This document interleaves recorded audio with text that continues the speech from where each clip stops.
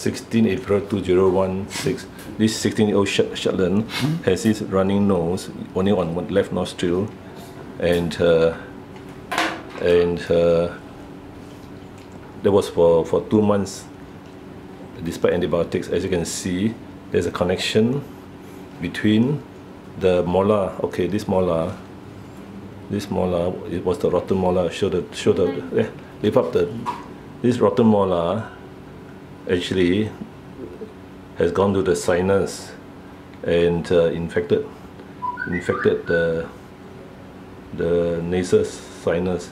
So for the last two months, the pus come up from, from the nose. And uh, so last month, I saw the dog and I advised the owner to do the extraction of the canine tooth. And uh, as you can see, all the teeth are actually quite strong, even this one. But this one was particularly loose. Open up first. So there was no problem just pulling it out. Actually, it's like that, you see? I take a photo the, the left nostril pus was coming out from the infected tooth, uh, root abscess of the left upper canine. And uh, now we have extracted, of course there's some blood coming out. And so now we have the, there's no more problem of drainage. So now all the bacteria, the pus can come out from here and uh, the dog should, should uh, be having a better quality of life and, and also if we don't solve this problem, this is like the maxillary sinus. Now the maxillary sinus, the maxillary, maxillary sinus, you, you get the carnassial tooth abscess as well, but this case, this one is okay for this 16 year old dog. Now, for this case, if you don't uh, treat, because the owner is uh, worried about anesthetic death, but if you don't treat, then every, every day there will be yellow pus coming out instead of uh, Instead of now, now, now it's bleeding because of the extraction. Now this bleeding will stop. Now if you don't extract this decayed tooth, the root will be keep will produce bacteria and toxins, and these toxins keep coming this side, and then it will go. It will be breathed in, breathed into the lungs, and uh, affect the. It will cause pneumonia. Although the dog is 16 years old, it may live up to 19 if he's in good health. Uh, there's some heart disease. That's why the owner is worried about anesthesia. So what we do is just gas, gas uh, by mask, and then uh, intubate, gas by mask, and then intubate, intubation, and uh, normally I will just give about two percent or less to effect. Two percent or less. Now it's zero because we switch off already. It's end of operation, and so now we can take out the drip set already. So, so now the dog is awake, so you can tell the drip set, and uh, the dog can go home already. So what happened is, I give Lasix 1 ml IV through the IV and Baytril, and uh, the only condition the dog owner wants is that the dog should not die under anesthetic. As you can see, he's already almost fully awake.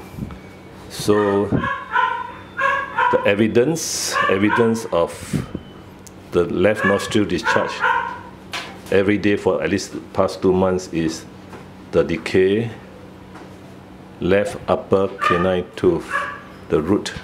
The bacteria comes from here. All these are bacteria from the from the root going into the nose and then go upwards and downwards. So that's why they always have a discharge. It's a yellowish pus discharge and I've advised antibiotics for the last one week and uh, to come for dental today, but uh, the owner was worried, so worried about uh, the dog dying, so she she wanted to back out, back out from the anesthetic. But uh, but as you can see, once you remove this tooth, this dog will live much longer because all these are bacterial infections, and the dog is so old. So if you don't uh, if you don't uh, remove any bacterial infection in the nose, it goes to the lungs. And ma many old men and old dogs die from pneumonia because they, they are weak. So ask the owner to come in uh, to, to show. So ask the owner to come in to, to show them. Show them. Oh, okay, he's awake already. He's awake and this is only about 5 minutes after end of gas anesthetic.